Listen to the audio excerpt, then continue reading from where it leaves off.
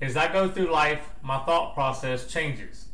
So I'm going to share with you something I consider and I wish I'd considered many years ago when I started out buying vehicles. But I won't leave you hanging. I will put a lot of information below this video in the description. I'll give you some ideas and go into more details about what I'm about to talk about. So you can and some video links to my other videos to help show you some ideas. So before you buy your next vehicle, consider this. Consider the average person, most people, I'm throwing rocks in a glass house is the way I used to be myself.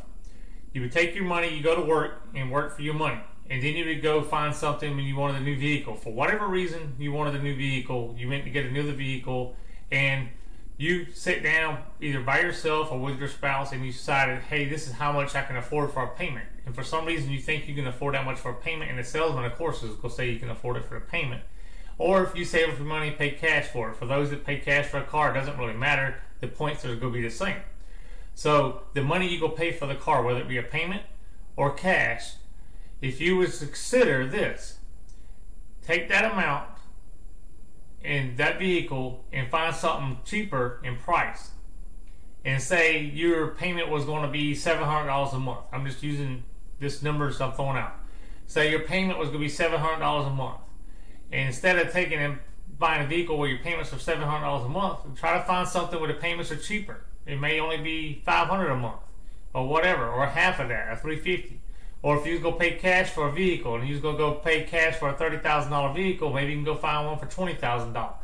My point being is they miss a crucial step to keep them from getting rich. Instead, they look rich and they're not rich. So, do you want to look rich or do you want to be rich?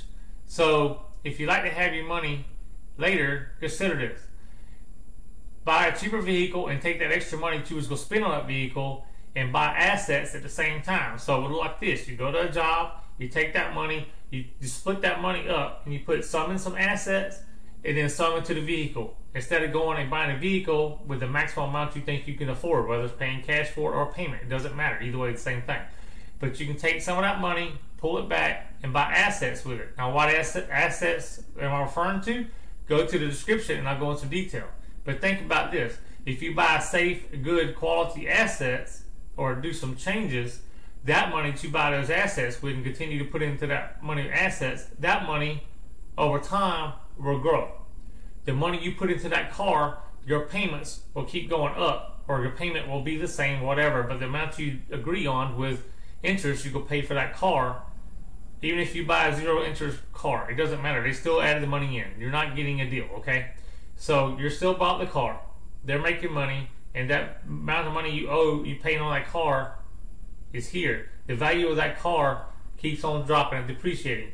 So you bought to a vehicle that you need to get to work, you need to get to school, you need to pay to get your kids to somewhere, you need to go to doctor. We all pretty much need a vehicle for the most part. I understand that. And I'm not telling you what to do, I'm just giving you an idea here. So instead of buying the most expensive car you think you can afford, buying assets without money grows. Your car will keep depreciating and keep needing maintenance and go down and down and down like value, but the money you pay for that car is still here. The money you pay for an asset is here and the, and the money goes up. So in return, you're paying yourself first by buying assets. You're paying your future self more importantly. So as you get older, that money's growing and you learn that habit and you'll see that money grow and then later you'll be able to afford a lot nicer things instead of buying really nice things or what you think is nice at the time and the value keeps going down. You keep doing that over every so many years. You buy another vehicle trying to look rich, not be rich, and that money keeps going down, going down, going down. You're just killing yourself financially over time. But if you pull back on some of that money, put in assets, that money grows, then your future self is going to be really happy. And again, I'm going to leave it at that, but there's a lot of information I will put below the video in some more detail.